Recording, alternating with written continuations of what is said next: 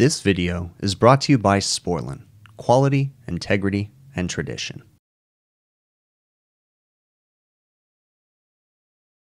Got an emergency service call on a walk-in freezer not working. They said the fans weren't working, everything's down, everything's thawed out, and I get here and it's running, but one of the fan motors is bad, is what it looks like. Um, but the box temp's like 11 degrees, and I tried to talk to them, like, are you sure it's down? Are you sure it's not in defrost? And they're like, no, it's been down all day. Yeah, it hasn't been down all day, but regardless, we're gonna get a fix for them. So we'll uh, jump up here, see what's going on with that fan motor. Maybe it's ice, maybe it's a bad fan motor, and uh, go through all the equipment just walking into the box, judging all the frost that you see right there and look right here, they've been propping the door open. All that frost is gonna be from the door and whatever that COM cable is, I don't know what the heck that is, but it's completely destroyed. Some sort of a COM line. It's not going to anything. That's weird. So it's not frozen up. There's a little bit of frost back there, but that's not too bad. Um, it's, it's a little thawed. Looks like they took all their ice cream out of here. But uh, I don't see any ice blocking the motor. I'll get this pulled off and we'll have a look at it. All right, so it is, uh, I don't know, about six o'clock at night. So it's dark, but that's okay. So what we're gonna do is we're gonna come over here, have a look at the defrost clock. We're gonna start with that. I suspect it just came out of a defrost. Walk-in freezer, I'm looking right now is system B. And yeah, you know, that's interesting. It didn't just come out of a defrost. It's about to go into a defrost. That's odd. I wonder if they were up here playing with it. Interesting, interesting. Well, regardless, we're going to go through everything. So let's step over here and have a look at the compressor. So, this should be my walk-in freezer compressor, I believe. Yeah. So if we come right here, this is my walk-in freezer compressor. It's running with a clear sight glass, cold suction line, hot discharge line. Okay. I mean, nothing too crazy. It's not iced up. It's got frost coming back. It's a good sign. Let's have a look at the condenser fan motors. They're both running. This guy does have a head pressure control valve. Um, yeah, I'm not seeing any major problems here. The compressor itself doesn't seem too hot, like it's been overheating. Doesn't seem like that. Huh, interesting. Looks like maybe this walk-in cooler's got something going on but that's a problem for another day because it's temping. But I'm intrigued as to why potentially the fan motors could have been off. I mean, it doesn't seem like it was just in a defrost. Huh. I'm intrigued. I'm intrigued. Maybe they had the power switch shut off, you know? You never know with these guys. I went ahead and shut off the breaker and we're gonna go downstairs. The contactor pulled out. We're gonna go downstairs and have a look at that evaporator fan motor and see what's going on with that.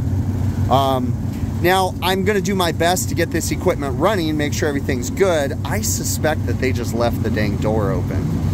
Um, I don't know, you know, what's going on, but who knows.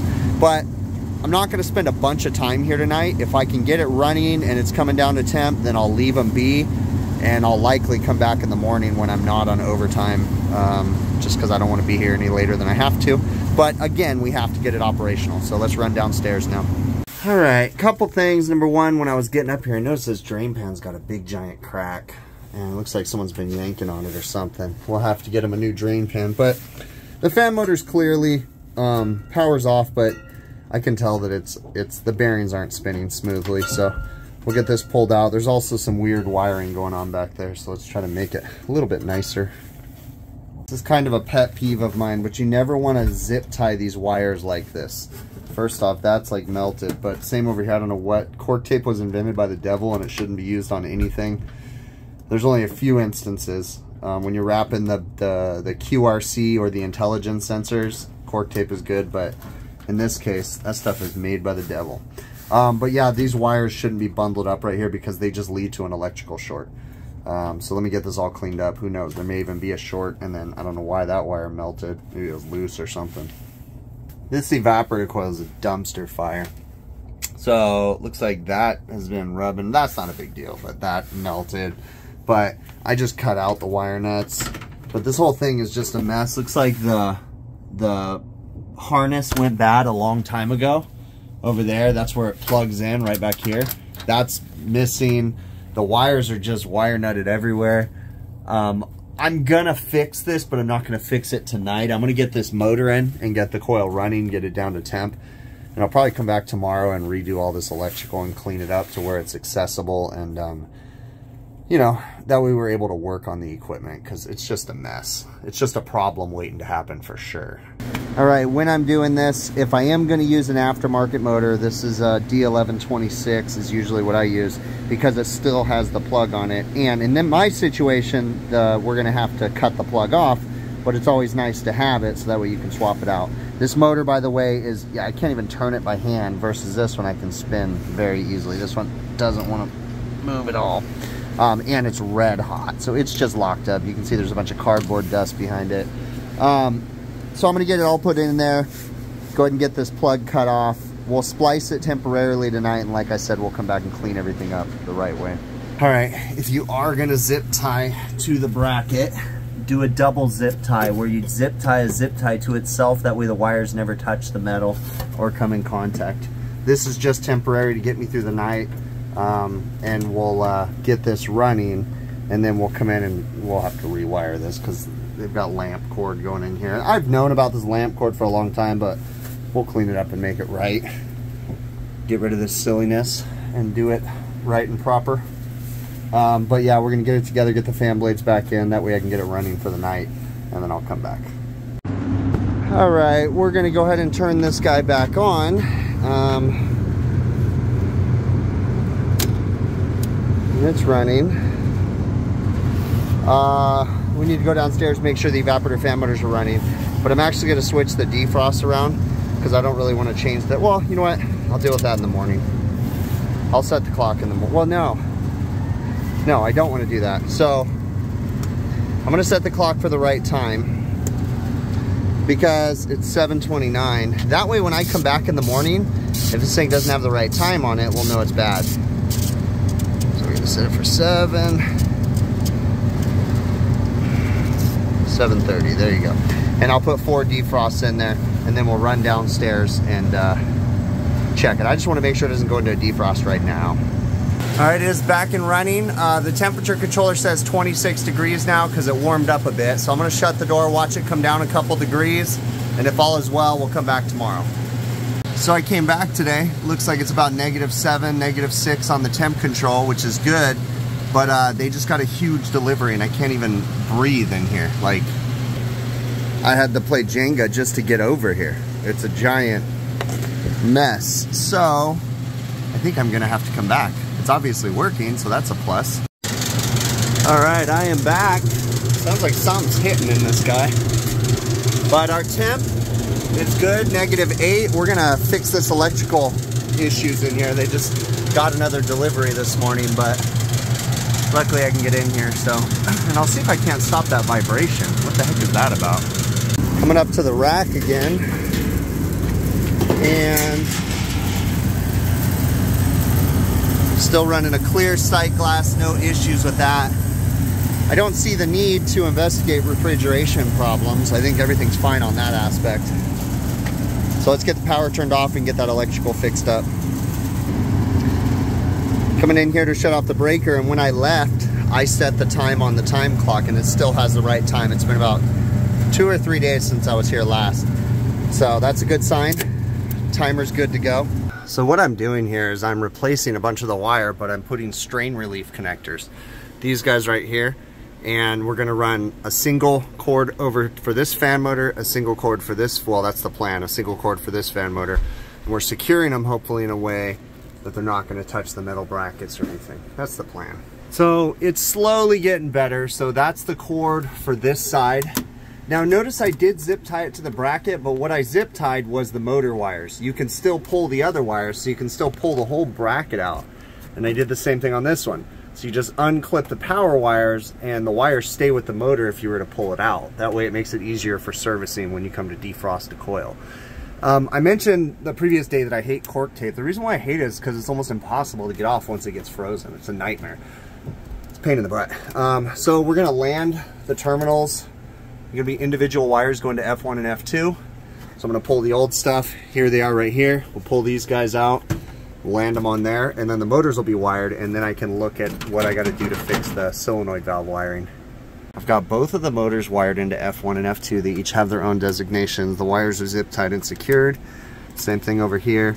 Now it's time to look into this solenoid valve wiring right here and try to clean this up so that way it's not touching the heater. If we come over here to the schematic, Right here is your evaporator fan motors. You can see they're wired into F1 and F2. Now before, they just ran a single connection and then it's spliced for each motor, but I have a dedicated run for each motor now. Now this does say with heater contactor, mine doesn't have that, but it's still the same configuration all the way across F1, F2. So all right, we got the solenoid valve wiring ran nice and tight with the strain relief connectors. That way it's not gonna rub out on the heater. Looks like I got some plastic and stuff to get out of there. But this is what I wanna show you guys. Look at this. Look at, this had been rubbing against the heater because there was way too much slack in here and you could see it melted on the plastic, the wrapper or label or whatever. So that's what we're trying to fix. We're trying to eliminate the potential of electrical shorts. All right, we are back on and running and I tweaked this blade and uh, eliminated a vibration in it. And then this guy right here, set for negative 10. It was negative 6 when I got here. Let's give it a second. This one seems to be spinning slow, but it has voltage. I have to follow up on that. Maybe it's just frosty. They had just gotten a delivery this morning and um, the coil's a little frosted up, so we're gonna throw it into a defrost. That's probably why it feels like it's not getting good airflow it was pretty thick on the back. So I just threw it in defrost. We'll let it run while I'm cleaning up my messes and then we'll take it out and make sure the fan motor's spinning at, or spinning at full speed. All right, we are back. We are moving the proper amount of air. The coil's defrosted. It's gonna take a little while to come down to temp. It's currently reading 31, but it was negative six when I got here, so I think we're good to go. Uh, we'll tell the customer to keep an eye on it and all is well. I don't necessarily always have to put my gauges on a refrigeration system every time I work on it. As you start to work with them more and more, you're going to learn uh, the signs and things that indicate that there's a refrigeration problem. In this instance, and I didn't really explain it in the video, but what I actually figured out was the initial service call. They had a kitchen manager that was there, and he was there opening till about 2 p.m. And at 2 p.m., he relayed to another manager that the evaporator fan motors were not working in the walk-in freezer. The other manager did not go in there at all. So they placed an emergency service call at about 5:30, 6 p.m. somewhere in there, and they said our walk-in freezer's been down all day. None of the fans are working. The temperatures are high. We need you now. So I called the restaurant and I said, "Hey, so what's the deal? Is it both both fans are down?" And they're like, yeah, both fans. And I go, is it in defrost? And the person that was on the phone with me was like, well, if it is in defrost, it shouldn't be that high in temp. And I go, well, what's the temp? And she goes, well, I don't know, but it we need you here now. So I was like, all right, I'll I'll head out there. But when I had originally talked to her, she said, yeah, we've been watching it all day. And I go, again, I, I just told the manager, like, hey, I'm here to fix your problems and I'm coming out either way. But just to FYI, if you guys noticed this earlier in the day, we're now on overtime. You could have saved a lot of overtime had you called during the day. But I said, regardless, I'm going to come out and I'll get you guys taken care of. So the reason why I did that was I'm trying to educate the manager, right? And just let them know like, "Hey, I I'm here to fix your problems and I'm going to come out, but, you know, if you notice this during the day, like, hey, you know, you can probably figure this out." And I actually escalated it to the general manager and the executive kitchen manager uh, at this particular restaurant too, um, just to let them know, like, hey, this could have been a non overtime call had your management team caught it earlier and made the phone calls and not pushed it all the way to 6 p.m. But I wasn't upset. I wasn't angry. I reiterated to the, the kitchen manager and the general manager, like, hey, I'm here to fix your problems. I'll come out whenever you want. I just want you to know you guys could have saved some money. And they were appreciative of that. So I always try to educate them as much as possible and I try to get to the bottom of things. Because in the beginning of the video, you can kind of see I was confused. Like they said it was all the fans weren't working. And I didn't understand why when I was there at like six o'clock, I would have assumed that it just came out of defrost. And it was after that that I realized it hadn't been in defrost since like 2 p.m. That, like, hey, wait, who said this and when did they leave? And then that's when i got to the bottom of it. So i always try to understand things. It's like a mystery you know you're trying to figure out okay who called? What time were they here? What did they see? Can i talk to them on the phone? You know just trying to understand things. So what i think happened was i think and i never got the full gist from the actual manager that was that that told the other manager to call me right? Because it's a lot of hearsay. But i think what happened was they saw one fan motor not working earlier in the day uh, and then the unit went into defrost and both the fan motors turned off. And then that manager probably got a little scared uh, and had them place a service call. Now, regardless, yes, they did have a fan motor down and the box temp was like 11 degrees. So, yeah, technically it was a little high in temp. Honestly, I think it would have recovered. I really don't think that it needed to be an overtime call, but regardless, I'm there. If the customer wants it, I'll come out there, right? We'll get it done. So I went out there found that we had a bad evaporator fan motor and saw a bunch of messed up wiring. So I got it going for the night, tried to come back out the next day. The box was full of food. So then I, said, okay, I couldn't come out the following day. So I came out the next day and it was full of food again. Like they had just got another delivery. I was like, oh my gosh, good grief. So I went and did something else, came back a couple hours later. They had everything put away. And that's when I was able to finish and go through the system. Okay. I talked about cork tape in the video. I really don't like cork tape. It's an insulation like tar type tape. Do not like it because it's just horrible. If it gets really, really hot, it makes a giant mess. If it gets really cold, it's really difficult to take off. Just not a huge fan of it, okay? Uh, also, I repaired a bunch of electrical wires in there because I didn't like the way that they were going. Now, in a perfect world, I get a new wiring harness from Heatcraft, put it in there, put the OEM motors back in, and call it a day. Um, but I didn't want to have to order the wiring harness. None of my supply houses have them, and putting the wiring harness back in there would have required that I needed new evaporator fan motors too because we need the plug-in connections and everything. And it just I didn't see the need for all of that. So I just used SJ cord did it secured it properly. It's not going to rub out. No more issues with that. And the customer was happy. So you know I'm always preaching about looking at the big picture. But understand that there's limitations to that, right? First and foremost, you need to reach out to your management team, make sure that they want you digging in further than they're asking you to do so, right? But sometimes you have to know, like, hey, there's a time and place for the big picture. In this situation, nothing was warranting me to put my service gauges on the system and evaluate the refrigeration system. It was working fine. I left it at that. I fixed the problem at hand, which was a bad evaporator fan motor. But again, while I was in there, I noticed there was some electrical issues, so we did correct that made some recommendations to the customer. I highly suggest that they let me go ahead and replace that drain pan. I have not gotten an approval for that. And in all honesty, I don't think they're going to do it anytime soon because they're kind of on a spending freeze as we're at the end of the year. It's currently uh, December 27th of 2022. Um, they're they're you know not wanting to spend money to make their quarter you know finish nice and stuff. And in all honesty, I don't think they're going to spend a lot of money in the month of January either. They usually do this. A lot of restaurants do where they drag on through January just to make the beginning of the, the first quarter look really good. So it's just a money game that they play. But they are operational. I really appreciate you making it to the end of the video. Thank you so very much. Um, if you haven't already, please consider subscribing to the channel. Uh, leave me some feedback. Any interaction you can give to myself or any other social media creators, it really does help. So whether it just simply be a thumbs up, thumbs down, some sort of a comment, subscription, follow, all that different stuff, it really does help.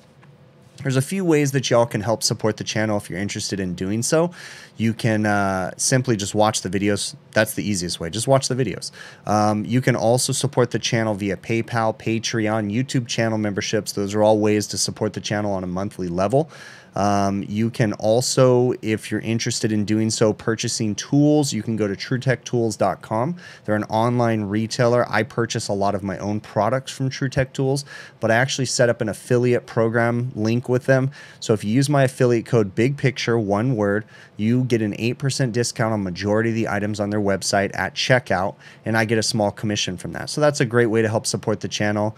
Um, there's a bunch of different other ways. Actually, there's one more, I'm sorry, not a bunch of other ways, but there's another way. If you go to my website, hvacrvideos.com, we have some merchandise available, some hats, um, some beanies, sweatshirts, t-shirts, all that good stuff. Again, it's just all a great way to help support the channel. So thank you so very much. I really do appreciate you. Happy New Year, and uh, we will catch you on the next one, okay?